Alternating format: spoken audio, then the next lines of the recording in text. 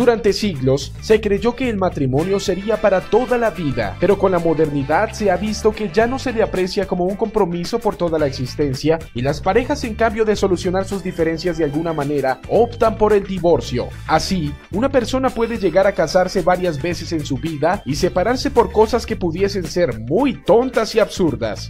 Veamos enseguida los casos de divorcio más tontos del mundo.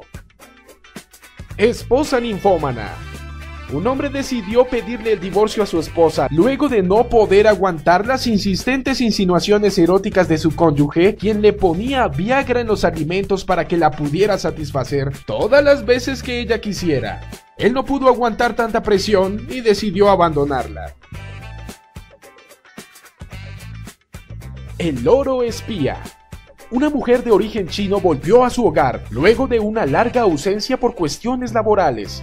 Al entrar a su vivienda, su loro repetía sin cesar, ten paciencia y divorcio.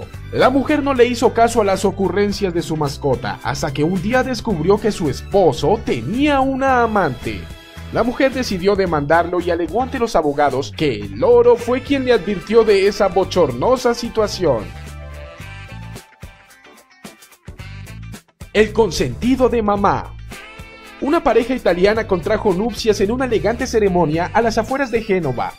Cuando llegó la hora de empacar maletas para la luna de miel, el esposo decidió llevar a su madre al viaje, asegurando que no podía separarse de ella. Cuando retornaron, la anciana exigió una habitación en la vivienda de los recién casados. Por esta razón, obviamente el matrimonio no duró ni tres semanas debido a las continuas intromisiones de la anciana en la relación. No soportó la pulcritud de su marido. Una mujer de origen alemán decidió pedirle el divorcio a su esposo porque no aguantaba que fuera tan aseado.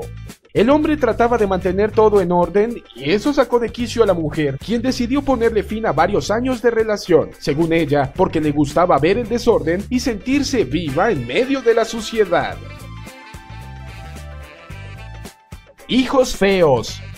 Un hombre de origen chino decidió divorciarse de su esposa porque le dio hijos muy feos. El asunto se complicó aún más cuando interpuso una demanda en su contra por ocultarle su verdadera condición física, pues ella se había sometido a varias cirugías plásticas antes de conocerlo. El hombre ganó la demanda. Viejo amante. Un anciano de 96 años decidió pedirle el divorcio a su esposa de 93 porque encontró unas cartas que ella le escribió a un amigo cuando era una adolescente. El hombre no aguantó, decidió marcharse y dejarla con todo el lío legal de la separación de bienes. Luna de miel fallida. Una pareja de recién casados estaba despidiendo a los invitados de la fiesta y estaban ansiosos por ir a sus aposentos a disfrutar de su primera noche en la intimidad. Pero la mujer decidió atender todos los mensajes de felicitación que le llegaron a su teléfono móvil y el esposo se durmió esperándola. A la mañana siguiente, el hombre le pidió el divorcio, alegando que no podría convivir con una mujer como ella.